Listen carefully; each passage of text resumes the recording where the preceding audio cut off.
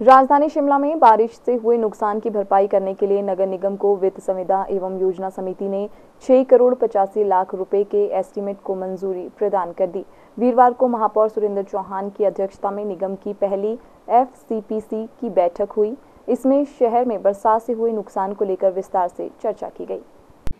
जी हाँ कल हमने एफ़ और जी की हमारी बैठक थी, जिसमें अभी जो हमको सरकार की तरफ़ से रेन डैमेजेस में साढ़े तीन करोड़ रुपया मिला था, उसको भी हमने वाइटम हमने डाली है। और हमने एफसीपीसी में लगभग पौने छः करोड़ के हमने एस्टिमेट्स के लिए अप्रूवल के लिए भेजा अप्रूवल अप्रूव किया जी एफ़ की बैठक एफसीपीसी की बैठक में और उसको हम हाउस में ले जाएँगे। क्योंकि साथ के साथ हम टेंडरिंग के लिए भेजना चाहते हैं, क्योंकि जो शिमला में भी नुकसान हुआ, उसका साढ़े तीन करोड़ रुपया तो हमें सरकार से मिला है, लेकिन उसके बावजूद अभी हमने लगभग छः करोड़ के एस्टीमेट्स हमने पास किए और उसको हाउस के लिए भी जाएगा और उसके लिए हम टेंडर की जो प्रक्रिया है उसको शुरू कर रहे हैं।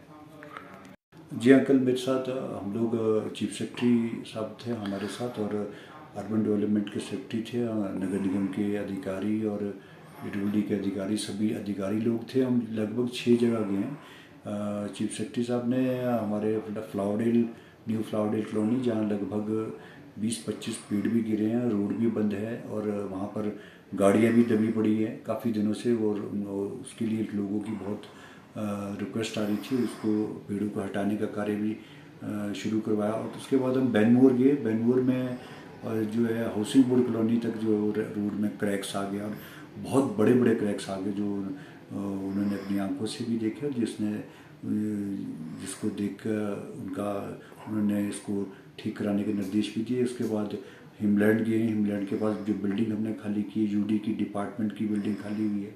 उसके सब जहाँ पेड़ डेंजरस पेड़ थे, वहाँ उनको निकालने के लिए भी निर्देश दिए। और उसके बाद कॉमली बैंक गए हम पुलिस लाइन के थ्रू गए और भराड़ी बाज़ार तक गए। जो जहाँ बड़े बड़े बहुत ज़्यादा नुकसान और जहाँ सड़कें बिल्कुल बैठ गई है और इसके अलावा अंदर जो लिंक रोड्स भी हैं वहाँ पर भी अभी बहुत नुकसान हुआ है।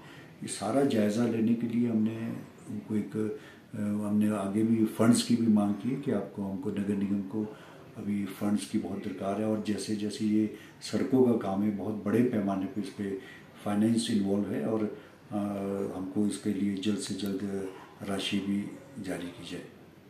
Bureau report city channel Shimla.